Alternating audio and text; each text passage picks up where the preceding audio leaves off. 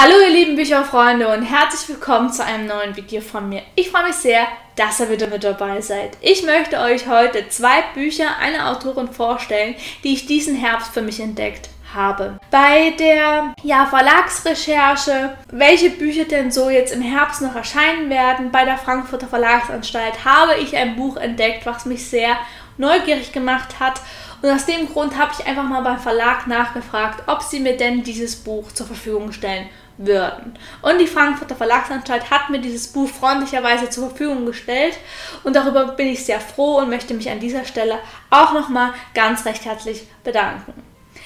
Am Ende dieser Lektüre hatte ich mich so ein bisschen ja auf die Recherche gestürzt, was ich denn zu diesem Buch gerne sagen möchte und habe festgestellt, dass es zu diesem Buch bereits einen Vorgänger gibt.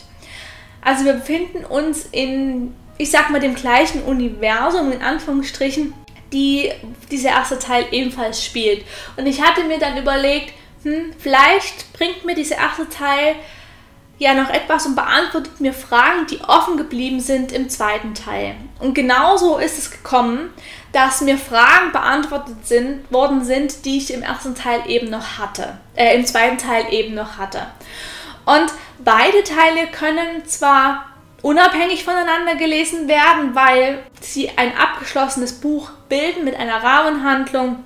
Wir befinden uns eigentlich nur in derselben Familie in diesen Büchern, aber ich finde, dass wenn man den ersten den ersten Teil gelesen hat, bleiben Fragen über, die dann im zweiten Teil beantwortet werden. Und genauso ist es, wenn man den zweiten Teil gelesen hat, bleiben Fragen über, wenn man den ersten Teil nicht gelesen hat. Und deswegen bin ich am Ende sehr froh, dass ich beide Bücher der Autorin für mich entdecken konnten, konnte und ich euch jetzt beide Bücher vorstellen darf. Um welche beiden Bücher geht es denn jetzt nun, die ich euch gerne vorstellen möchte? Und zwar handelt es sich einmal um Mischpoke, ein Familienroman von der Autorin Marcia Zuckermann aus der Frankfurter Verlagsanstalt. Dieses Buch ist im Jahre 2016 veröffentlicht worden und hat insgesamt 445 Seiten. Bei dem zweiten Buch handelt es sich um Schlamassel, ebenfalls ein Familienroman und ebenfalls von Marcia Zuckermann und aus der Frankfurter Verlagsanstalt. Dieses Buch ist am 18.08. diesen Jahres veröffentlicht und hat insgesamt 399 Seiten. Und das ist auch das Buch, was mir die Fra Frankfurter Verlagsanstalt zur Verfügung gestellt hat. Marcia Zuckermann ist im Jahre 1947 geboren worden und hat einen ja, jüdischen Vater, der als politischer Gefangener im Buchenwald den Holocaust überlebt hat und, und hat eine Mutter, die aktiv im Widerstand gegen die Nationalsozialisten gekämpft hat. Marcia Zuckermann hat damit also schon eine bewegte Vergangenheit von ihren Eltern in die Wiege gelegt worden. Und ich glaube, dass die Vergangenheit ihrer Eltern und ja, vielleicht, vielleicht auch noch ihrer Großeltern hier in diesen beiden Büchern ein Stück weit verarbeitet hat. Und so ist es auch bei meinen Recherchen herausgekommen, also hat sich herausgestellt, dass beide Bücher doch schon ein Stück weit autobiografische Züge haben, aber inwieweit konnte ich leider nicht herausfinden. Aber ich finde, bei der Familiengeschichte und bei der Thematik, die in diesen Büchern hier verarbeitet worden sind, kann man sich das, glaube ich, auch ein Stück weit denken, dass hier autobiografische Züge ja mit verarbeitet worden sind. In Mischpoke lernen wir das allererste Mal die Familie Konim kennen. Und zwar erzählt uns die Familiengeschichte die Ich-Erzählerin, die wir leider nicht mit Namen näher kennenlernen werden. Und zwar erzählt sie uns ihre Familiengeschichte deswegen, weil sie in eine missliche Lage geraten ist. Sie ist angeklagt worden, hat aber ihr, ja, ihr Gedächtnis verloren, kann sich an die Vergangenheit nicht mehr erinnern und wird deswegen ja therapeutisch ja bewertet, inwieweit denn ihr Gedächtnisverlust ja wiederhergestellt werden kann oder ob ihr Gedächtnisverlust überhaupt ähm, ja ob dem so ist. Und in diesen Therapiesitzungen erzählt uns die Ich-Erzählerin ihre ganz persönliche Familiengeschichte. Und zwar geht sie dabei bis zurück zur Kaiserzeit über den Nationalsozialismus bzw. den Zweiten Weltkrieg bis hin zur DDR. Und ihrer Familie Die Kohanims beleuchtet sie nicht jede einzelne Person sehr deutlich, sondern sie pickt sich dabei bestimmte Familienmitglieder heraus. Und zwar ist es ihr, ihr Vater Walter, ihre Großmutter Franziska und ihre Urgroßeltern, die Kohanims. Wir lernen alle Familienmitglieder kennen, aber die genannten gerade lernen wir im Besonderen kennen, da wird wirklich das Augenmerk drauf gelegt. Und ich finde, das macht an dieser Stelle auch wirklich Sinn, weil es nun mal die Ich-Erzählerin ist, die uns diesen Rahmen der Geschichte vorgibt. Und es hätte für mich nicht so viel Sinn ergeben, wenn sie sich nicht auf ihren Vater, ihre Großmutter und so weiter bezogen hat.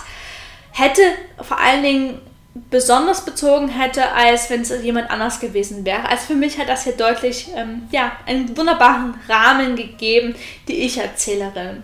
Ich muss aber allerdings dazu sagen, dass mir, dadurch, dass das hier mein zweites Buch gewesen ist, die Ich-Erzählerin um einiges bekannter gewesen ist. Ich wusste mit dem Lesen irgendwann, wer die Ich-Erzählerin war. Ich habe das Rätsel lösen können. Klar kann man das auch dann, wenn man Schlamassel gelesen hat, aber ich glaube, dass mir das hier ein ganz kleines bisschen mein Lesen ein ja, einen Vorteil gegeben hat, weil ich schon einen Bezug zu der Ich-Erzählerin bekommen habe. Ich kann mir vorstellen ansonsten, dass die Ich-Erzählerin sehr weit weg gewesen wäre, dass sie einem vielleicht auch ein Stück weit unsympathisch rübergekommen wäre, weil sie so ihre ganz eigene Art hat. Sie ist so ein kleines bisschen ja, sarkastisch, vielleicht auch eine kleine Besserwisserin, die ja, die Welt einfach mit ganz anderen Augen sieht.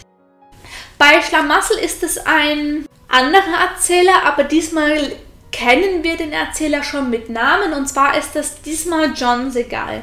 Die Familiengeschichte bezieht sich hier tatsächlich mehr auf den Holocaust, auf den Zweiten Weltkrieg also das Augenmerk wird hier auf den Zweiten Weltkrieg bzw. auf den Holocaust gelegt und John Segal bildet hier unsere Rahmenhandlung in diesem Fall. Und zwar ist es so, dass John eine sehr kranke Tochter hat und auf der Reise nach, also die Familiengeschichte aufdecken will, beziehungsweise ja noch lebende Familienmitglieder finden möchte, um seiner Tochter helfen zu können, um vielleicht das Rätsel ihrer Krankheit lösen zu können. Und er begibt sich nun auf die Reise, um Familienmitglieder kennenzulernen bzw. zu suchen und die Familie noch weiter, die Familiengeschichte einfach aufzudecken. Und wir befinden uns da eben wieder in der Familie der Koranims. Diesmal aber auch Augenmerk auf diese Familie. Aber diesmal äh, spannen wir den Bogen noch etwas weiter und zwar bekommen wir noch angeheiratete Familienmitglieder, äh, lernen wir noch kennen, aber auch Cousinen, Cousins und so weiter. Also der Familienkreis wird nochmal etwas größer gezogen. Und in beiden Büchern wird uns der Stammbaum der Familien abgebildet, natürlich immer nur den Rahmen, in der es die Geschichte uns erzählt. Aber ich muss ehrlich sagen, dass in beiden Büchern mir der Stammbaum tatsächlich geholfen hat. Ohne die Abbildung des Stammbaums wäre ich tatsächlich ein Stück weit vielleicht auch hier und da durcheinander gekommen. Vor allen Dingen auch mit beiden Stammbäumen. Also hier ist ein anderer Stammbaum abgebildet als hier, weil wir hier einfach nochmal einen größeren einen Kreis ziehen und hier nochmal ein bisschen was anderes abgebildet werden muss, um die Familie einfach abgebildet zu bekommen. Das hat es ein bisschen leichter, leichter für mich gemacht zu lesen, mit immer mal wieder schauen, wen meint er denn jetzt nochmal, in welchem Zusammenhang stand er nochmal? Wie gesagt, wenn die Stammbäume nicht vorhanden gewesen wären, hätte ich bei beiden Büchern ja nicht alt ausgesehen, aber mir hätte es deutlich schwerer gefallen. Und vor allen Dingen hatte ich das Glück, dass ich ja diesen Stammbaum hier schon habe und ich hier dann nochmal den Bezug zu den kleinen Kohanims hier nochmal ähm, feststellen konnte und hier hin und wieder nochmal schauen konnte.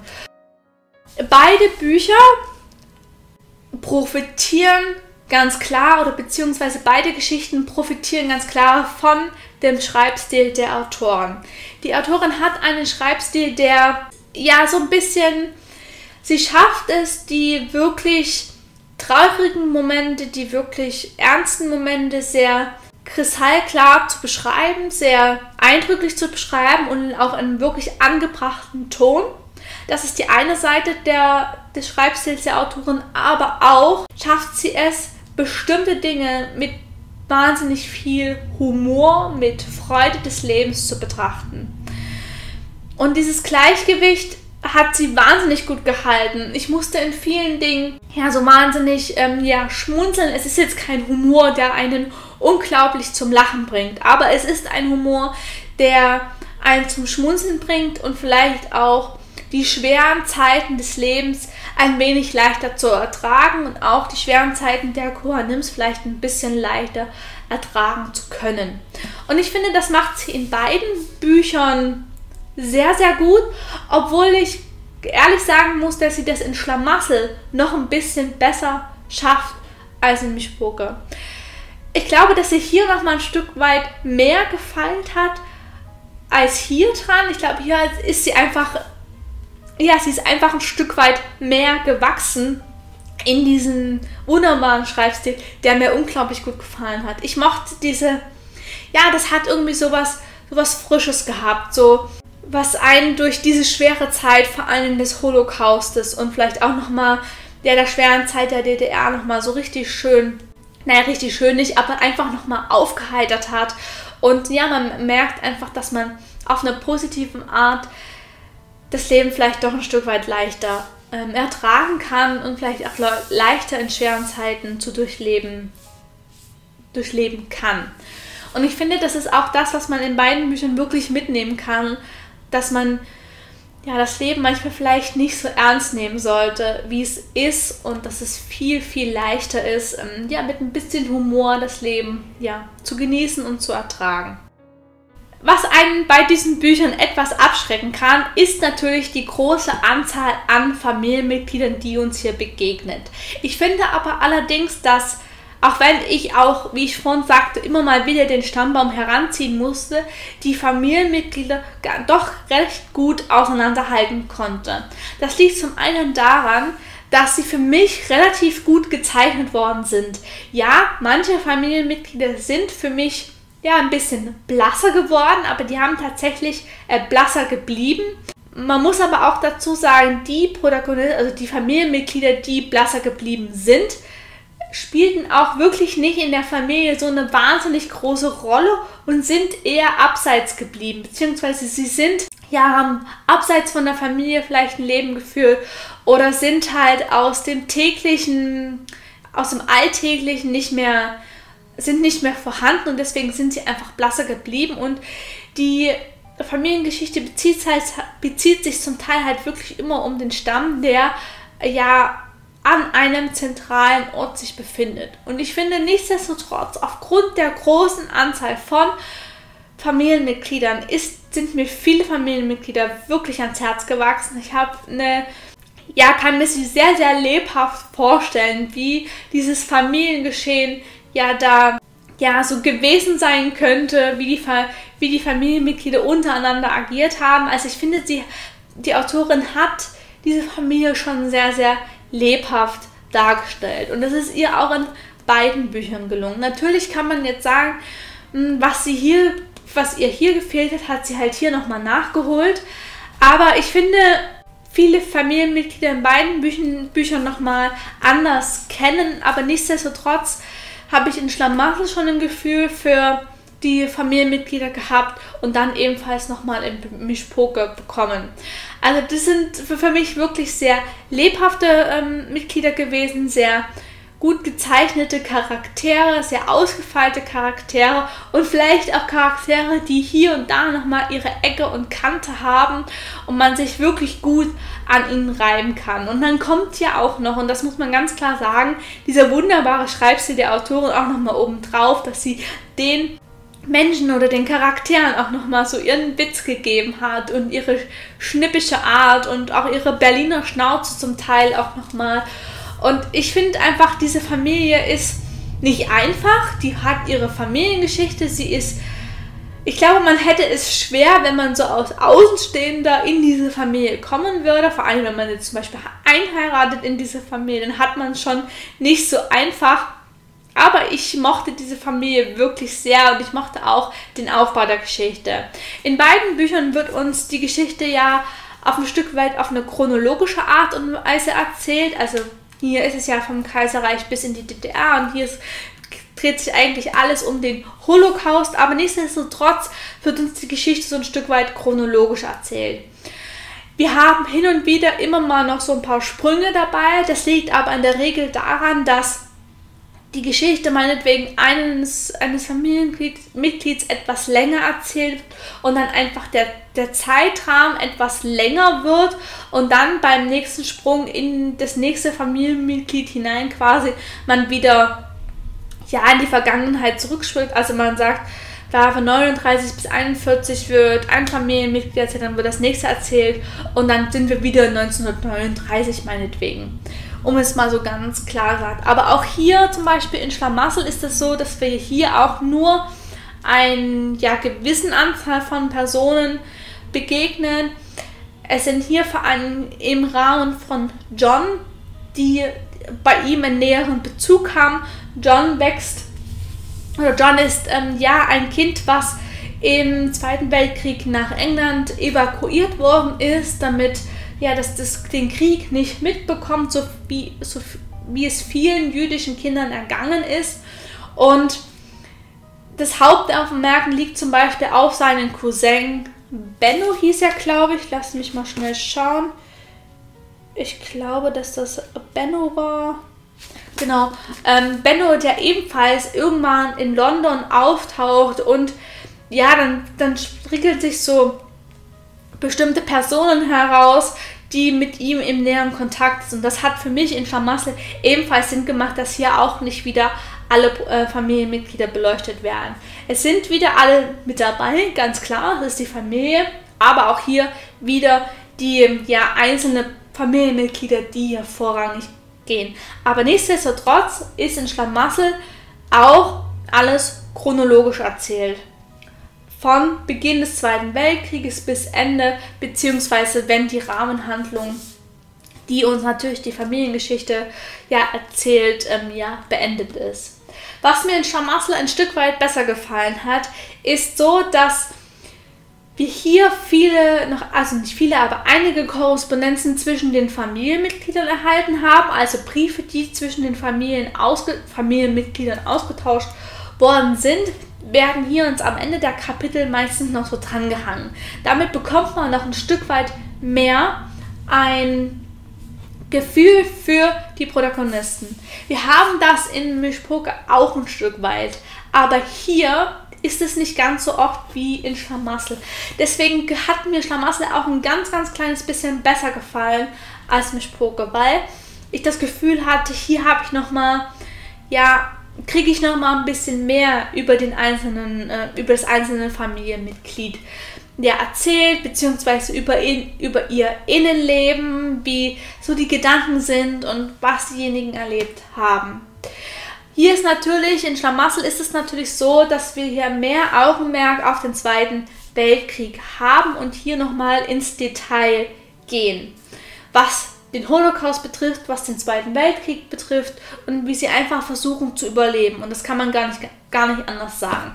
Sie versuchen in Schlamassel tatsächlich einfach nur zu überleben. Das erfährt man in Mischproge ein Stück weit auch schon. Aber hier ist einfach das, der Rahmen, der Zeitrahmen ein viel, viel größerer. Und deswegen wird hier nicht ganz so hundertprozentig Bezug auf den Holocaust genommen und nicht so sehr ins Detail gegangen wie in Schlamassel. Beide Bücher zählen für mich zu Büchern gegen das Vergessen. Also sie kann man ganz klar zu diesen Büchern zählen, zu ja, der Aufbereitung des Holocaustes, des Zweiten Weltkrieges, aber auch generell, um ein Gefühl für ja, eine jüdische Familie zu erhalten, da seine Nase ein Stück weit heranzubekommen, aber man muss auch ganz klar sagen, dass die Familie hier im Vordergrund steht. Das heißt, geschichtliche Ereignisse werden hier nicht ganz so stark thematisiert. Also man erfährt jetzt hier zum Beispiel jetzt nicht, wann der Krieg explizit losgegangen ist. Wenn man so ein bisschen geschichtliches Interesse hat, dann merkt man das schon, dann sieht man das an der Zeit, wenn ja, die Jahreszahlen so auftauchen, welche Ereignisse dann und wann aufgetreten sind. Aber ein explizites Erwähnen findet hier nicht statt. Und weil hier einfach ja, das Hauptaugenmerk auf der Familiengeschichte ist. Aber ich finde das überhaupt kein Manko gegenüber den Büchern, weil ich finde, man bekommt das auch so mit, wenn man so einen, ja, einen gewissen geschichtlichen Bezug hat, dann bekommt man das ganz von alleine mit, was hier gerade passiert und kann das auch ein Stück weit ja, in den Kontext setzen. Sicherlich setzt das dann natürlich voraus, dass man ja gewissermaßen geschichtlich dann so ein Stück weit ja, fit ist, beziehungsweise ja bestimmte Eckpunkte kennt. Aber ich denke, dadurch, dass wir alle das im Geschichtsunterricht hatten, die großen Eckpunkte, fällt einem das Lesen dieser beiden Bücher überhaupt nicht schwer und kann sie in den entsprechenden geschichtlichen Rahmen setzen. Also für mich sind es definitiv zwei Bücher, die gegen das, gegen das Vergessen mit herangezogen werden und die auf ihre tolle Art und Weise des Schreibens von der Autorin ihren ganz eigenen Charme haben, die mich sehr von sich überzeugt haben und ich wirklich sehr froh bin, dass ich nach Schlamassel wirklich nochmal Mischpoke ja, gelesen habe und für mich ähm, die Familiengeschichte nochmal ein Stück weit verlängern konnte. Ich kann euch nur empfehlen, wenn ich euch neugierig auf beide Bücher gemacht habe, dass ihr eigentlich mit Schlamassel anfangt, auch wenn hier ein paar Fragen drin sind, die euch vielleicht hier und da noch ein bisschen stören und danach zu Mischpoke greift, werden euch diese Fragen, welche hier noch drin sind, definitiv beantwortet. Aber euch ist hier die Ich-Erzählerin definitiv ja, vertrauter und ihr habt schon einen kleinen Bezug zur Ich-Erzählerin. Ich kann mir, wie gesagt, vorstellen, dass hier ansonsten die Ich-Erzählerin ein bisschen unsympathisch rüberkommen wird. Aber wenn ihr vorher Schlamassel gelesen habt, dann wisst ihr auch, warum sie so ist, wie sie ist. Und ja, ich kann euch beide Bücher wirklich nur empfehlen, wenn ihr auf Familiengeschichte, äh, wenn ihr auf Familiengeschichten ja, prinzipiell, wenn ihr da Interesse dran habt, wenn ihr auf einen Schreibstil Interesse habt, die ja sehr humor, humorvoll schreibt, aber auch sehr gefühlvoll schreibt, beziehungsweise den Ernst der Lage einfach mit ihrem Schreiben ja herüberbringen kann und eine große Familie kennenlernen wollt, kann ich euch beide Bücher nur wärmstens ans Herz legen. Am Ende möchte ich mich jetzt nochmal bedanken, dass ich Schlamassel von der Frankfurter Verlagsanstalt zur Verfügung gestellt bekommen habe. Wie gesagt, ich habe mich darüber sehr gefreut. Ich, mich würde jetzt am Ende nochmal interessieren, kennt ihr vielleicht schon Mischpoke? Mischpoke ist ja schon etwas älter und von daher kann es ja dem einen oder anderen schon bekannt gewesen sein. Und wenn ja, wie ist denn eure Meinung zu Mischpoke? Und natürlich würde es mich noch interessieren, ob ich euch neugierig auf beide Bücher machen konnte. Lasst mir doch diesbezüglich gerne einen Kommentar da ich würde mich sehr darüber freuen. Was ich dann nochmal gerne sagen möchte ist, also so wie die Bücher aufgemacht sind, ich glaube, dass sie mich so gar nicht angesprochen hätten, weil ich weiß nicht, irgendwie verlocken sie mich jetzt doch nicht so mit der Aufmachung. Ich meine, es hat alles seine Bedeutung, was hier auf auf den Covern drauf ist. Alles hat ähm, ja seinen Grund, alles hat ähm, ja seine Bedeutung, aber ja, so, das weiß man erst hinterher, wenn man es gelesen hat. Aber weiß ich frage mich gerade, ob ich es mich interessiert hätte, also ob ich zu den Büchern gegriffen hätte, wenn ich sie so im Laden gesehen hätte. Würde ich an dieser Stelle tatsächlich bezweifeln, aber ich bin trotzdem sehr, sehr froh, dass ich diese Bücher für mich entdecken konnte und euch vorstellen konnte. Und ich hoffe, ich konnte euch jetzt auf die Bücher sehr neugierig machen. Ansonsten Lasst mir, wie gesagt, unten einen Kommentar da, wenn ihr mögt. Und ansonsten wünsche ich euch jetzt noch einen schönen Tag. Habt schöne Lesestunden. Bis dahin. Tschüss.